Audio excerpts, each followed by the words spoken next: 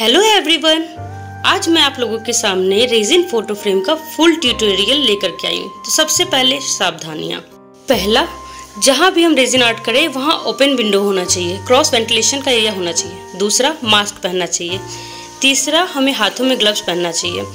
ज़्यादा हम बराबर नहीं पहन पाते क्योंकि स्वेटिंग होती है तो बीच बीच में आप उतार दें, लेकिन आपको पहनना है। उसके बाद जहाँ भी आप रेजिन आर्ट कर रहे हैं तो बेस जो है उसको कवर कर दें, या प्लास्टिक या पेपर किसी चीज़ से। उसके बाद कोई छोटा आर्ट पीस आप बना रहे हैं तो एक ट्रे या कोई हार्ड बेस होना चाहिए, जो कि इक्वल हो, ऊपर नीचे ना हो, और उन दोनों के बीच में भी एक प्लास्टिक डाल दें, ताकि रेजिन अगर गिरे भी तो वो ट्रे जैसे मैंने डाला तो ट्रे ख़राब ना हो। उसके बाद लेवलर से चेक करना है हमें कि हमारा जो मोल्ड है, वो सही से सेट है या नहीं। अगर यहाँ पे लेवलर जो है किसी और तरफ़ झुका हुआ है, टेढ़ा है तो उसे पहले ठीक कर लें, वरना रेजिन जो है एक तरफ़ से बह जाएगा और एक तरफ़ जो है कम होगा। तो इस तरह से आपका आर्ट पीस जो है वो टेढ़ा बनेगा। हम देख रहे हैं कि लिक्विड जो है अभी तक बीच में नहीं है, थोड़ा सा तिरछा तो है अभी भी। तो इसके लिए हम क्या करेंगे? जो ट्रे मैंने रखा है, उसके नीचे कोई एक ठोस चीज़ डाल देंगे जिससे कि ये इक्वल हो जाए। तो मेरे पास एक प्लास्टिक का यूँ ही मोल्डिंग क्ले का जो बेस होता कटर वगैरह कुछ होता है, वो था। तो वो मैंने इसके नीचे डाल दिया है ताकि ये लेवल में आ जाए और इसके बाद ये लेवल में आ गया था। टेबल ठीक करने के बाद हम क्या करेंगे? मोल्ड जो है हमारे पास रखा हुआ रहता है तो उस पर डस्ट वगैरह जम जाते हैं जो हमें दिखते नहीं हैं। तो उसे क्या करना है? टेप लेना है हमें और टेप को काट करके उसके बाद ऐसे ही टैप टैप कर करके सारी डस्ट निकाल लेनी है। वो सारे डस्ट जो हैं आपके टेप में चिपक जाएँगे और मोल्ड आपका साफ़ हो जाएगा। ये सबसे इजी वे है मोल्ड को साफ़ करने का। अदरवाइज़ आप गर्म पानी करें और उसमें कपड़ा मतलब उससे निचोड़ें, उसके बाद पोषें, उससे तो बहुत बेस्ट ये है। क्योंकि ट्रांसपेरेंट पीस बनाएँगे तो डस्ट दिखेगा तो पीस आपका अच्छा नहीं लगेगा।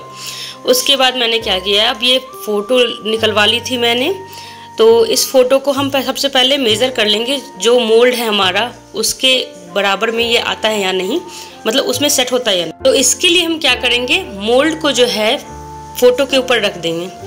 उसके बाद सर्कल बना लेंगे मतलब मेज़रमेंट कर लेंगे और उसके बाद उसे हमें कट करना है। अब जो सर्कल हमने बनाया है, उससे हाफ़ इंच अंदर करके ही हम कट करेंगे, वरना ये फ़ोटो जो है, हमारे मोल्ड से बड़ा हो जाएगा। तो अब हम नेक्स्ट प्रोसेस पे चलेंगे, जो है रेजिन मिक्स करना। अभी मैंने लिया है two is to one resin इसका मतलब हुआ कि दो पार्ट हमें लेना है रेजिन का और एक पार्ट लेना है हार्डनर का।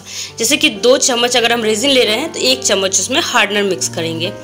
तो सबसे पहले मैंने इसके लिए ग्लव्स पहन लिया है और हाँ कपड़े जो हैं आप पुराने यूज़ करें, क्योंकि कपड़ों पे अगर रेजिन लग गया ना तो कपड़े आपके ख़राब हो जाएँगे, उसका कोई इलाज नहीं है, वो ठीक नहीं होंगे। मेरे कपड़े ख़राब ऑलरेडी हो चुके हैं मेरा एक्सपीरियंस है तब मैं आपको बता रही हूँ। तो अब हमें क्या करना है, सबसे पहले जब आपको रेजिन का अंदाज नहीं आएगा कि रेजिन हम कितना लें तो क्या करना है मोल्ड में पानी डाल लीजिए।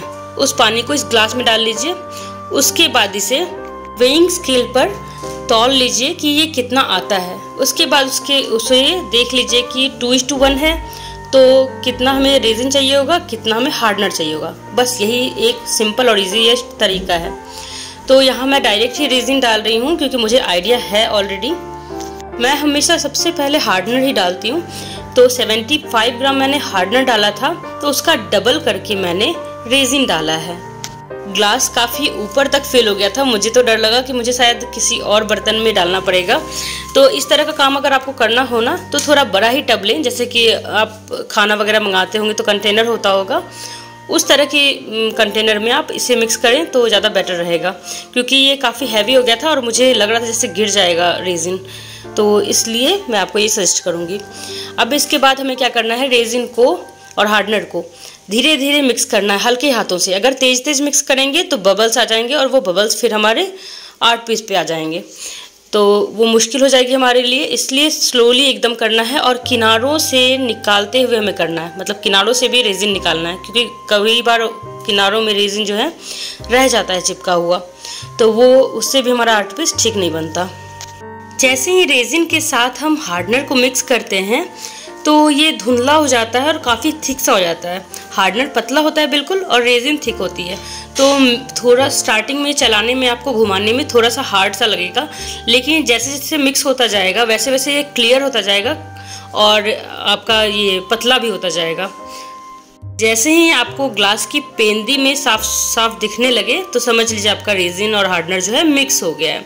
उसके बाद आप इसे पंद्रह इसके बाद इसे हम दो चार मिनट के लिए छोड़ देंगे, ताकि बबल्स जो भी आए होंगे इसमें, वो अपने आप ही ख़त्म हो जाएँगे। ज़्यादा देर नहीं छोड़ना है, क्योंकि पंद्रह से बीस मिनट के बाद ये थिक होना स्टार्ट हो जाएगा। फिर आपको इससे काम करना थोड़ा मुश्किल हो जाएगा। और ठीक होने के बाद भी हम अलग तरह का एक आर्ट पीस बनाते हैं, वो मैं आगे आपको बताऊँगी।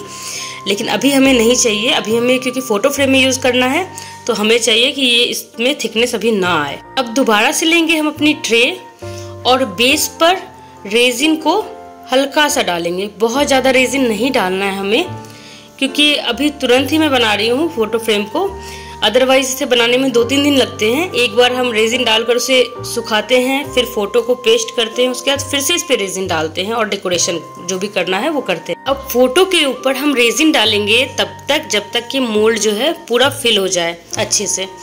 इसके बाद हम क्या करेंगे? इसके बाद हमें करना है डेकोरेट। ठीक है? सिंपल लग रहा है बहुत ज़्यादा ये।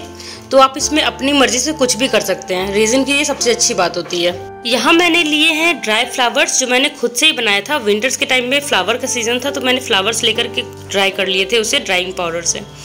कुछ खरीदे हुए हैं जो नीचे मतलब पर्पल कलर में है, वो सब खरीदे हुए हैं। अब इनको हम सीक्वेंस वाइज लगा देंगे और इसके ऊपर से हल्का हल्का रेजिन डाल देंगे और दबा दबा करके इसे ऐसे करेंगे कि रेजिन में ये मतलब अच्छे से इसके ऊपर नीचे हर तरफ़ रेजिन लग जाए।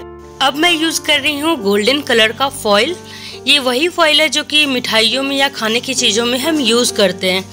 ये सब मैंने अमेज़ोन से मंगाया है तो प्रोडक्ट का लिंक आपको डिस्क्रिप्शन बॉक्स में मिल जाएगा।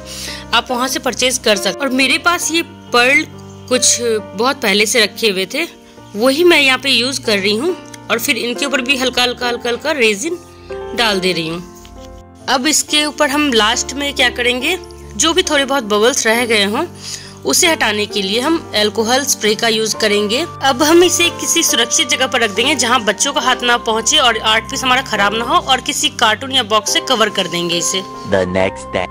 थ्री इज़ टू वन से टू इज़ टू वन ज़्यादा जल्दी सेट हो जाता है इसलिए इसे हम 24 घंटे के बाद ही डिमोल्ड कर रहे हैं। और ये जो हुक आपको दिख रहा है ना हैंग करने के लिए वो पेपर क्लिप्स आते हैं उसका ही मैंने पिन निकाल करके इसमें लगा दिया था। उसी टाइम लगाया था जब इसे हमने पोर किया था। तो अब फाइनली हमारा ये आर्ट पीस बन करके रेडी है। फ़ोटो फ्रेम कैसा लगा आप सबको? ज़रूर बताइएगा। और अच्छा लगा तो लाइक शेयर और सब्सक्राइब ज़रूर करके जाइएगा। Thank you so much for watching